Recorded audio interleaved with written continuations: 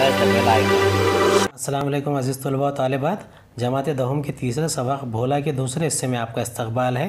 हमारा वीडियो पसंद आता है तो उसे लाइक कीजिए शेयर कीजिए सब्सक्राइब कीजिए और बेल आइकन दबाइए। इस वीडियो को आखिर तक देखिए ताकि आपको पूरा सबक समझने में मदद मिले। अब यहाँ पर जो भोला है, उसके जो दादा जान हैं, वो कहते हैं, मुझे दोपहर को अपने घर से छः मील दूर अपने खेतों में हल पहुँचाने थे। बूढ़ा जिसम इस पर मुसीबतों का मारा हुआ बेटी की मौत मौत ने उम्मीद को यास में तब्दील करके कमर तोड़ दी थी। अब मैं भोले के सहारे ही जीता था। यानी बूढ़े का बेटा मर चुका था और भोला जो उसका पोता था, वो उसी के सहारे जी रहा था। रात को मैं थकान की वजह से बिस्तर पर लेटते ही ऊँगने लगा। इन रात को बहुत ज़्यादा थक चुका था, इसलिए वो बिस्तर पर लेटते ही ऊँगने लगा। ज़रा तवक़ुफ़ के बाद माया ने मुझे दूध पीने के लिए आवाज़ दी यानी थोड़ी देर के बाद में माया, जो भोले की माँ थी, उसने दूध पीने के लिए आवाज़ दी। मैंने इसे सैकड़ों दुआएँ देते हुए कहा, मुझ बूढ़े की इतनी परवाह ना किया करो बेटा। यानी बूढ़े ने भोला के दादा ने क्या कहा कि मुझ बूढ़े की इतनी परवाह ना किया करो। भोला अभी तक ना सोया था, इसने एक छलांग लगाई और मेरे पेट पर चढ़ गया। बोला, बाबा जी, आप आज कहानी नहीं सुनाएँगे? नहीं बेटा, मैंने कहा मैं आज बहुत थक गया हूँ, कल दोपहर को तुम्हें सुनाऊँगा। यानी बूढ़ा जो भोला था, वो बहुत ही मासूम था और उसने बूढ़े दादा के पेट पर चढ़कर कहानी की फरमाइश कर दी थी। लेकिन बूढ़ा चूँकि बहुत थक चुका था, दादा इसलिए उसने कहा कि वो कल दोपहर सुलाएगा। भोला ने रूठते हुए जवाब दिया, मैं तुम्हारा भोला नहीं बाबा, मैं माता जी का भोला हूँ। यानी भोला दिख छोटे बच्चे जो मासूम बच्चे होते हैं, उन्हें तो ये सब चीज़ें समझती नहीं है। और चूँकि वो काफ़ी छोटा था उम्र में, इसलिए वो जल्दी रूठ गया। और वो कहा कि, भोला बाबा का नहीं, माता का माता जी का भोला है। भोला भी जानता था कि मैं इसकी, इस बात, ऐसी बात कभी बर्दाश्त नहीं की। मैं हमेशा इससे यही सुनने का आदि था कि भोला बाबा जी का है और माता जी का नहीं है। यानी बूढ़ा शख्स भी क्या कहता था, भोला को याद दिलाता था कि वो अपने दादाजी यानी बाबा जी का है माता जी का नहीं है। मगर इस दिन हल, हलों को कंधे पर उठाकर छः मील तक ले जाने और पैदल ही वापस आने की वजह से मैं बहुत थक गया था। इस गैर मामूली थकन के बाद मैंने भोले की वो बात भी बर्दाश्त की और ऊँगते ऊँगते सो गया। अब देखिए हालात ऐसे हैं कि किसान के पास कोई उस वक्त ज़रिया नहीं होता तो वो हल जो होता है काफ़ी वज़नदार होता है और खेत में ले जाना और छः मील छः मील तकरीबन ये दस किलोमीटर के करीब होता है। वन पॉइंट सिक्स एक आशारिया छः किलोमीटर एक मील होता है। तो यहाँ पर ये तकरीबन दस किलोमीटर के करीब होगा। तो जाना और आना एक बूढ़े शख्स के बस की बात नहीं होती।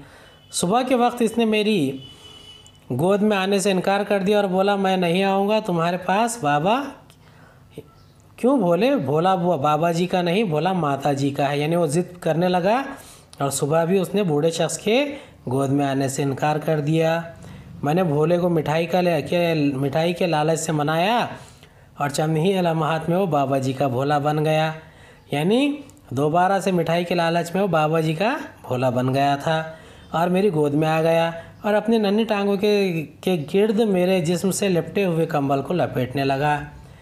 यानी वो दोबारा दादाजी के गोद गोद में बैठकर अपनी छोटी छोटी पैरों से, यानी टांगों से कंबल लपेटने लगा।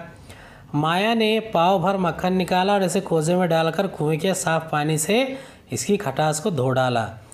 यानी माया ने फिर से मक्खन को निकाला पाव भर और उसे कुएँ के साफ़ पानी से उसकी खटास को धो डाला।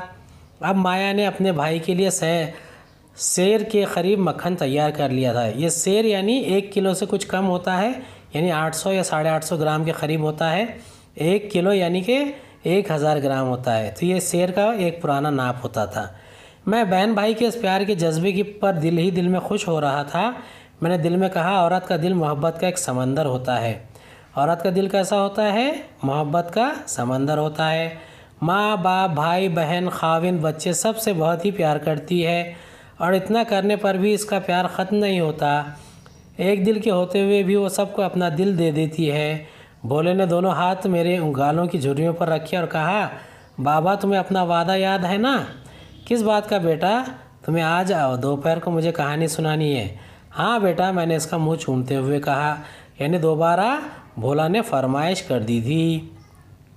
ये तो भोला ही जानता होगा कि इसने दोपहर के आने का इंतज़ार का कितना इंतज़ार किया।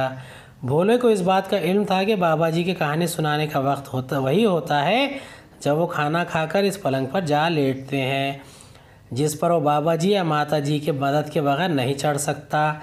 चुनाचे वक्त इससे आधा घंटा पेशतर ही इसने खाना खाना निकलवाने पर इसरार शुरू कर दिया। मेरे खाने के लिए नहीं, बल्कि अपनी कहानी सुनने के चाव से। चाव शौक़ को कहते हैं।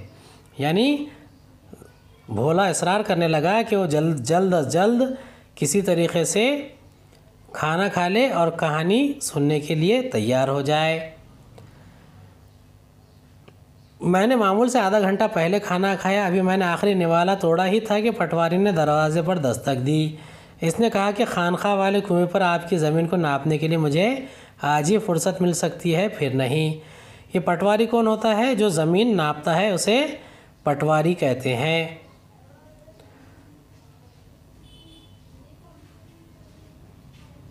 दालान की तरफ़ नज़र दौड़ाई तो मैंने देखा कि भोला चारपाई के चारों तरफ़ घूमकर बिस्तर बिछा रहा था। बिस्तर बिछाने के बाद इसने एक बड़ा तकिया भी एक तरफ़ रख दिया और ख़ुद पायती में पाँव उड़ाकर चारपाई पर चढ़ने की कोशिश करने लगा। मैंने पटवारी से कहा कि तुम खानखा वाले कुएँ को चलो और मैं तुम्हारे पीछे पीछे आ जाऊँगा। जब भोले ने देखा कि मैं बाहर जाने के लिए तैयार हूँ तो उसका चेहरा मध्यम पड़ गया, यानी भोला नाराज़ हो गया।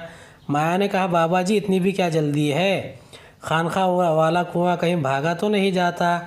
आप कम से कम आराम तो कर लें। ओहो, मैंने जहर लब कहा, पटवारी चला गया तो फिर ये काम एक माह से इधर ना हो सकेगा।